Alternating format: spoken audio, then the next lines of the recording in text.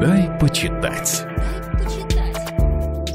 Здравствуйте, Ксения Станиславовна Лицарева, профессор Вятского государственного университета. Дебютный роман Татьяны Млынчик «Ловля молний на живца» победил в издательской программе литературной смены форума «Таврида Арт» летом 2020 года.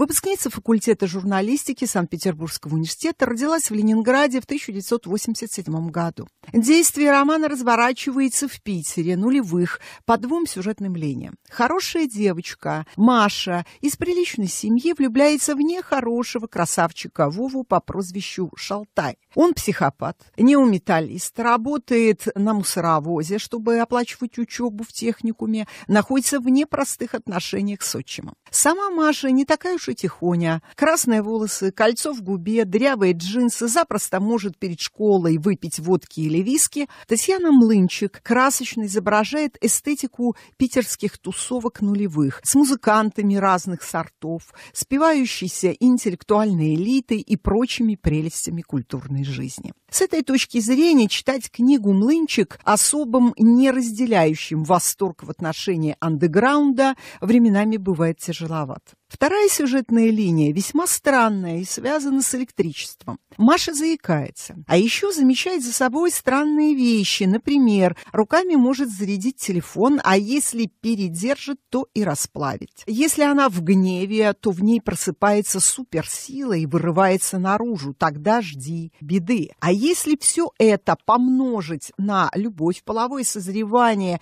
и влечение, мятежность, протест и ревность, восхищение невероятными способностями исчезает, ибо они становятся угрозой для жизни. Ее отец физик после развала СССР становится биржевым брокером, но упорно желает поступления мании в политех через Олимпиаду. Именно там ей помогает профессор Кьяница, и она по результатам Олимпиады зачислена в ВУЗ. И тут отец рассказывает дочери, как они с этим самым профессором, его другом, провели над ней трехлетний эксперимент с магнитным трансформатором. И что именно после этого она стала заикаться и обладать суперсилой. Тогда отец, ученый, сотрудник НИИ, пытался получать ток из электромагнитного поля в пространстве.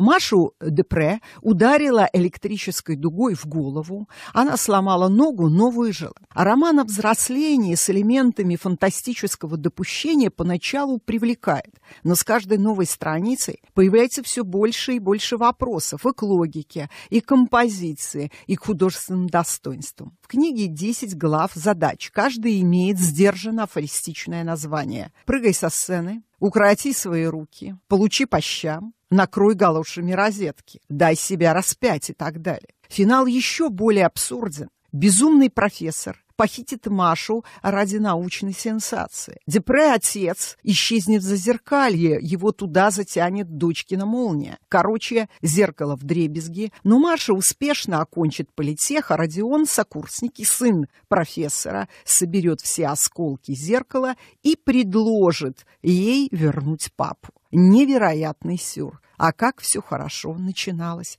18+.